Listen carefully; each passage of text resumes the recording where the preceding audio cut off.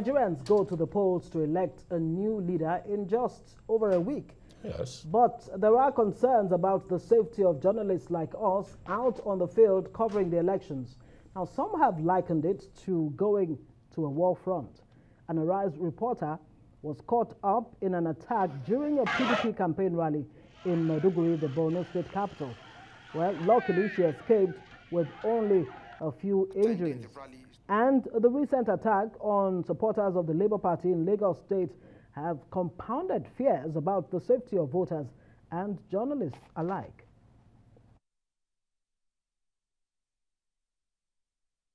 Okay, joining us now is Jonathan Rozen, who is the senior researcher at the Committee to Protect Journalists.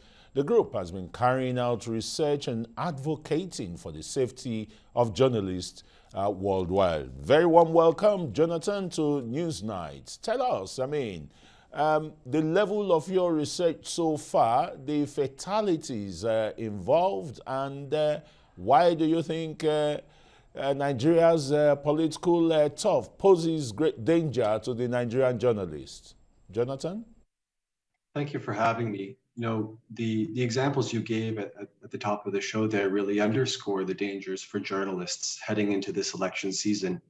Uh, analysis done by uh, other organizations have put fatalities over the, over the last year in, in uh, election-related violence, um, you know, to over 11,000 and you know that's that's really tragic but it also underscores the dangers that journalists are going to have to face as they cover the election which of course we know is important for nigerian democracy.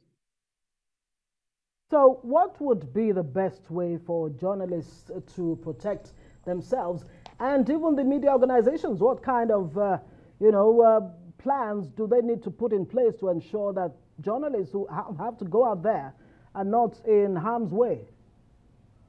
This is a tremendously important question. You know, in recent months, my colleagues and I have been uh, speaking with over 50 journalists and members of civil society from across Nigeria, asking them what their major concerns are heading into the election season. And time and again, they say it's safety, it's their physical safety when they're out uh, doing the reporting that's going to keep Nigerians informed.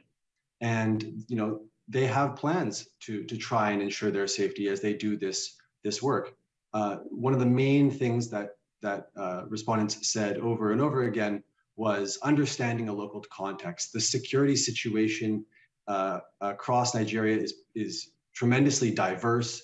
One part of the country is very different from the other, and so when you're deploying, uh, heading into an area that you may not be uh, entirely familiar with or may have not have reported in, in previously, it's important to understand that local context.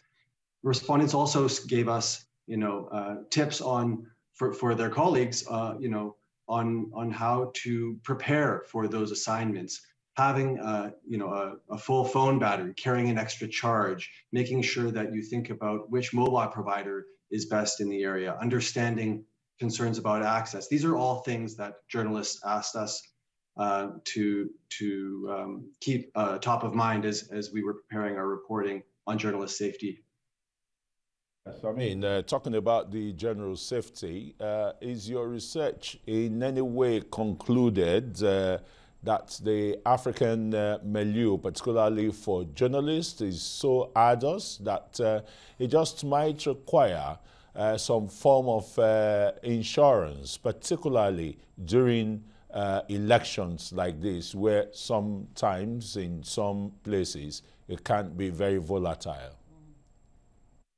Well, like I said, every every situation is is different and, and should be approached as such. You know, journalists are going to prepare themselves as best as possible. Media houses are working to prepare their staff as best as possible. Um, safety kits are being handed out to journalists. You know, it's it's the preparation uh, that will really pay dividends down the line uh, when you find yourself in a situation. So really across the board, preparation is is in many cases the best insurance that you can have, knowing how to respond if uh, something does happen.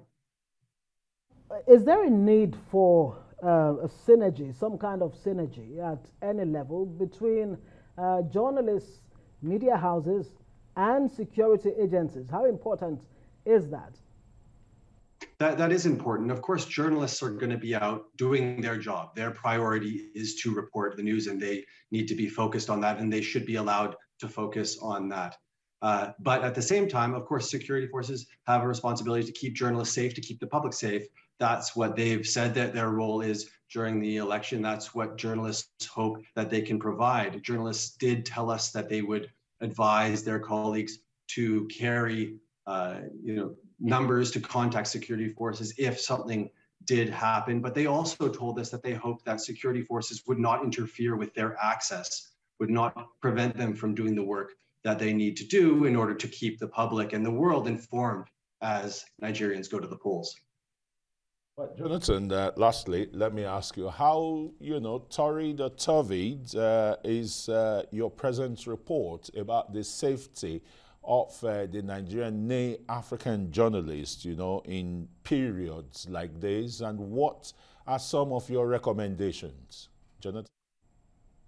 Yeah, the, the recommendations really are very practical things. The, the first one is uh, I want to have your viewers know, and, and journalists should know, that the Committee to Protect Journalists has an election safety kit that's freely available on our website at cpj.org. It includes a broad cross section of tips and advice, uh, an editor's checklist, um, a, risk assessment, um, tips for physical safety, psychological safety, which is very important when dealing in stressful situations, uh, and digital safety, because we know that's also a, a dimension of, of coverage.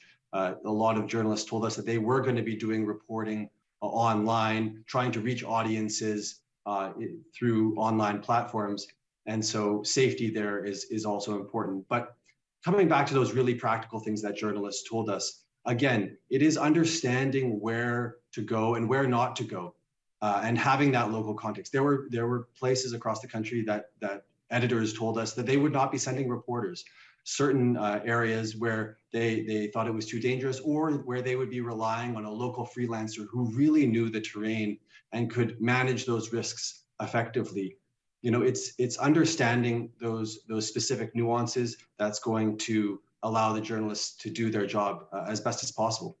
Absolutely, and uh, you can trust that at Arise, we're going to be right front and center of it all. Uh, thank you very much. Jonathan Rozen is a senior uh, researcher at the Committee to Protect Journalists. Thank you so much for joining us.